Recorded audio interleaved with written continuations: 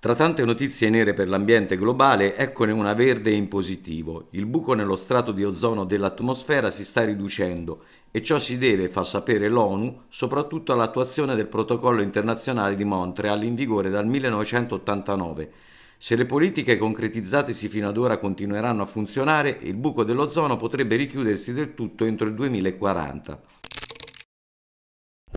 Il caldo mette in fuga molti tipi di piante, in particolare la flora alpina. A causa dei cambiamenti climatici, negli ultimi 30 anni la diffusione delle piante autoctone nelle Alpi europee non solo si è considerevolmente ridotta, ma si è spostata verso quote più alte.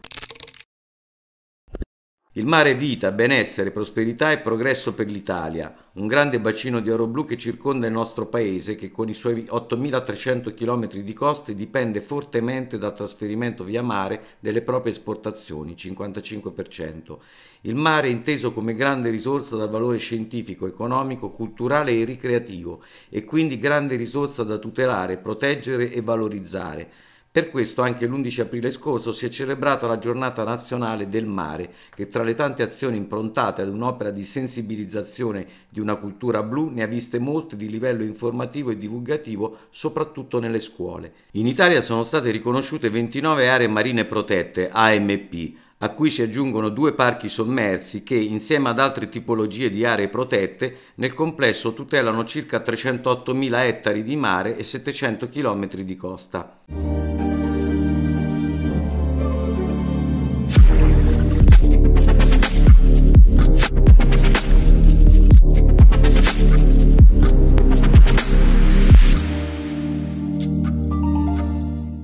1.500.000 euro è il budget totale per il bando relativo alla comunicazione locale promosso dal sistema ANCI Consorsi di Filiera, uno strumento di rilevante significato in supporto alla gestione della raccolta differenziata organizzata dagli enti locali o dalle realtà da essi delegate. L'accordo di programma quadro ANCI-CONAI per la raccolta e il recupero dei rifiuti di imballaggio ha confermato così la particolare attenzione agli aspetti legati alla comunicazione locale, finalizzata ad informare e sensibilizzare i cittadini alla raccolta differenziata e all'avvio a riciclo dei rifiuti di imballaggio. Possono essere presentati progetti riferiti ad attività condotte nel corso dell'anno 2023 e del primo semestre 2024, mentre la scadenza per la presentazione delle domande è fissata al 19 maggio 2023 sul sito web bandoanciconai.conai.org.